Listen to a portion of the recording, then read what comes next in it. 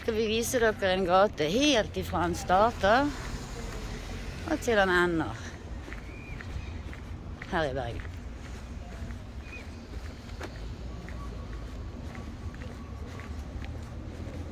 Den heter Adolf Bergs vei. Og har fått akkurat her som vi går i dette krysset nå når vi runder hjørnet her, så er det begynnelsen på et område som egentlig har utvist fortsatt, etter 50 år blir kalt for Chicago.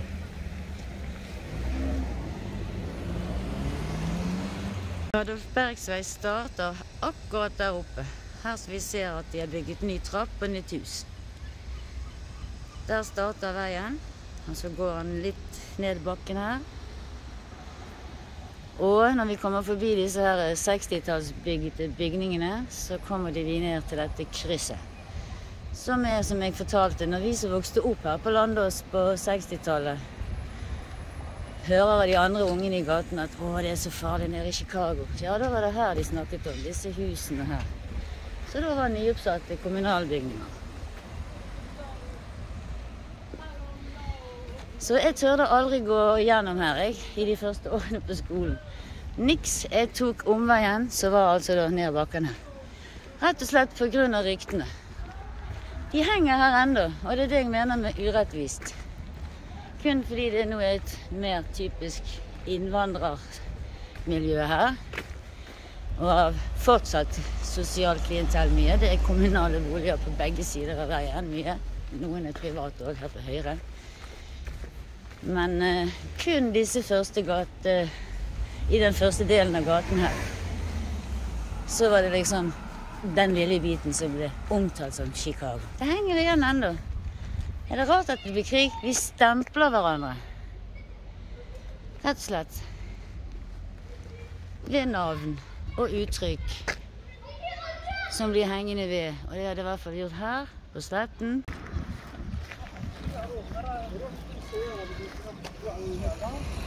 Her ser vi at den ene eh, kommunalbygningen, som det var leiligheter i før, den har de nå gjort om til et helsesenter. Og som jeg har sagt, det er et veldig stort preg av innvandrermiljøet. Men det er et rolig miljø likevel, så hvorfor i alle dager kaller vi fortsatt dette området for Chicago? Og dere kan forestille dere hvorfor det fikk det navnet. Er helt Chicago, kunne vi si. Sånn om ting som var helt sprøtt, f.eks. Jeg har lyst til å vise dere rett inn til siden her. En av de områdene på Sletten som er rimelig uberørt de siste 50 år. Og det er Myren. Det er her vi er nå. Bortsett fra at da var disse trærne ganske små. Og der som dere ser at fotballbanen ligger, der pleide denne myren ofte å være oversvømmet med mye vann. Det var i hvert fall ingen lekeapparat eller barnehage her borte. Men jeg husker det var en liten sånn eh, lekepark der noen foreldre kunne plassere ungene sine et par timer ute. Jeg har aldri gått i barnehage. Det er et begrep jeg er lite kjent med. Vi eh, var ute i gata sjøl og klatret i trær sånn som det her. Og her ser dere hvor vakkert det faktisk er her bak i Adolf Bergs vei. Så vi bør slutte å stemple steder og la de fortsatt ha de navnene. For det kommer bilder i hodet, sånn som hos meg når jeg var barn. Da var det et farlig sted. Huff. Og det var det veldig sjelden. Men da vet historiene de blir fortalt om igjen og om igjen. Der har vi dette legesenteret, helsesenteret. Jeg er ikke helt 100% sikker på hva det òg inkluderer, i tillegg til å det bare helsesenter. Men jeg vet òg at de eldre også kommer her, som er knyttet til bydelen. Og jeg vet at det er en lege som holder til her inne også. Som veldig mange i nærmiljøet selvfølgelig bruker. Og som dere eh, har fått vite, så er det Bergen kommune stort sett, som eier og har ansvar for denne gaten her. Adolf Bergs.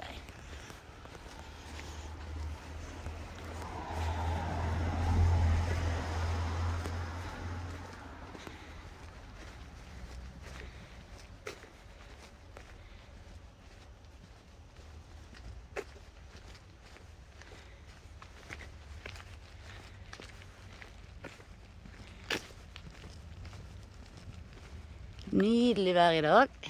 Det er mai. Lørdag. Stille. Og nå er vi kommet sånn cirka midt i gata.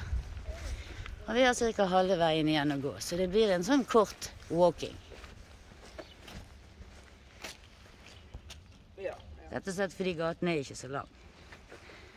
Men som dere òg skal legge merke til, så har vi nå kommet til en helt annen del av uh, Adolf Bergs vei. Og dette her er ikke noen del av Chicago, det kan jeg si med en gang. Her har de lagt flere forretninger i denne bygningen. I dag er det et lite minilager her. Har det vært en svær matbutikk lenger oppe. Lurer på om den er åpen ennå. Jeg husker Bladkompaniet holdt til på 60-tallet her. De ungene stod og sikret og hadde lyst på Donald, men fikk ingen, for de skulle leveres tilbake etter uken var gått.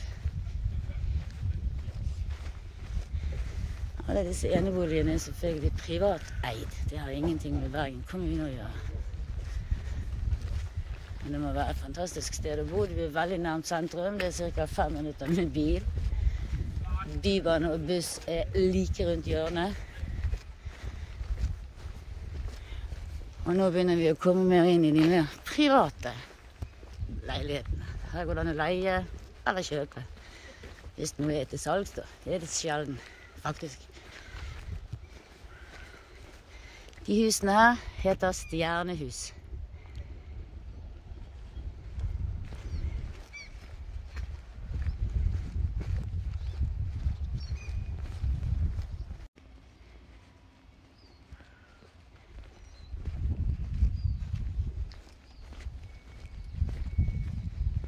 Ja, det er ikke mange nordmenn igjen i forhold til når jeg var barn. Da husker jeg vi ble veldig overrasket hvis vi i det hele tatt så noen av annen opprinnelse. Uansett om det var her i Adolf Bergsvei eller andre. Men for å være helt ærlig med dere det er ikke så veldig mange nordmenn igjen i denne gaten.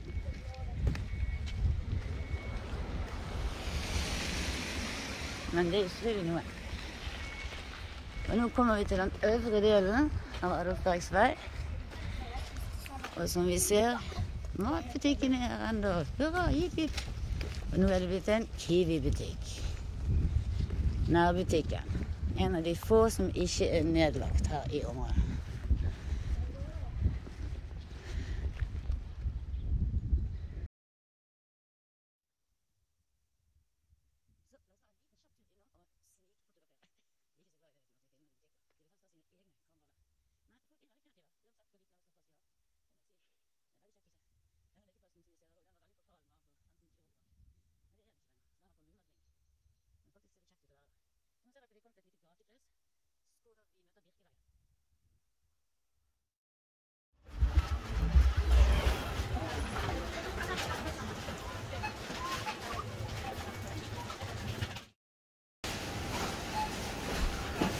Ja, men da skal vi rett og slett avslutte denne lille turen vår. Og avslutte vi å da få se resten av vei. For den svinger opp her. Og ender her oppe. Birkeveien, den fortsetter på baksiden av myren og mot Landås.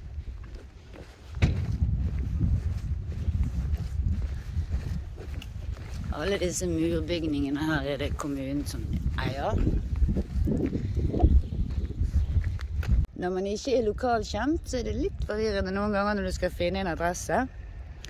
Sånn som her ser du det er Birkeveien òg. Og den er Birkeveien, ikke sant?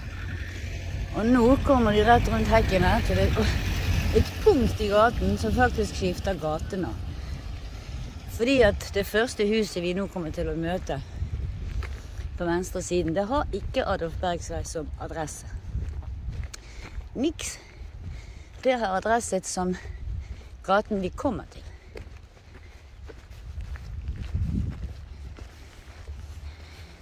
Noen av beboere her de har tilbrakt et helt liv i disse boligene.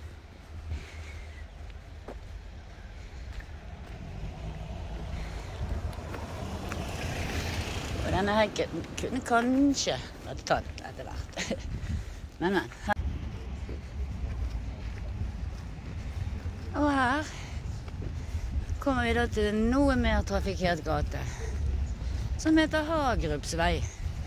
Og det er adressen til dette huset.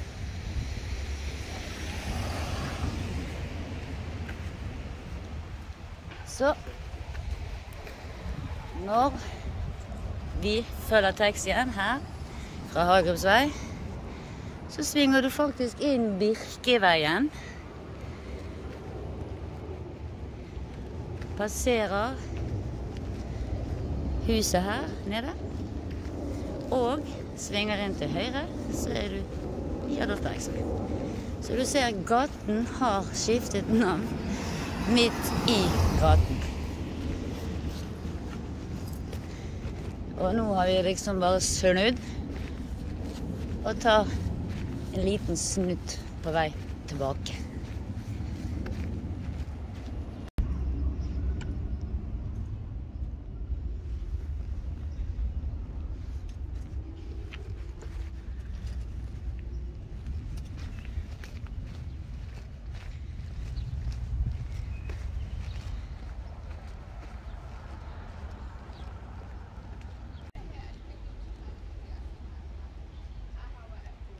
Og der nede ser vi igjen Kiwi-butikken, ikke sant?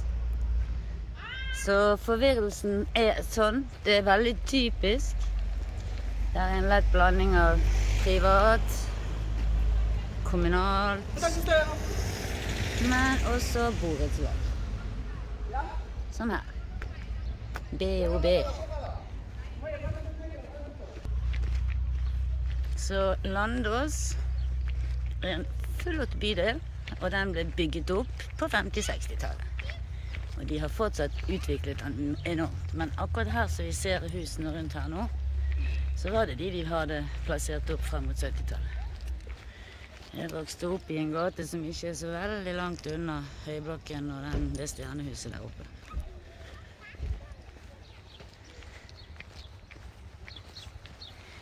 Og her ser vi skiltet som indikerer at Adolf Bergs vei sin adresse starter. Og da glir den, da, som, som vi har snakket om, over i Birkeveien og opp til Hagerupsveien.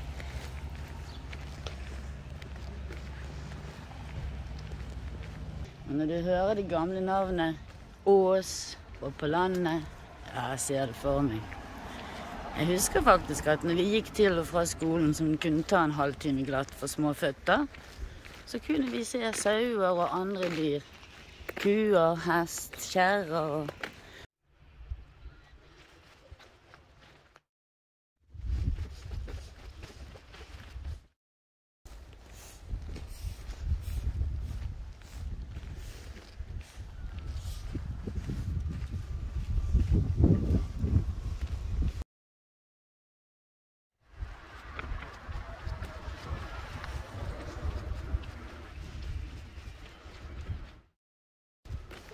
Så kun fordi at uh, det fikk et kallenavn, nedre delen av gata, for der bodde noen få litt småkriminelle folk en gang utover 60-tallet og opp fra 70-tallet, så hang det navnet ved det, helt til nå.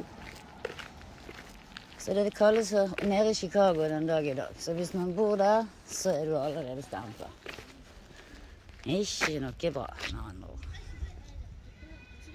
Syns dere et sånt er rett? Du tenker jeg om.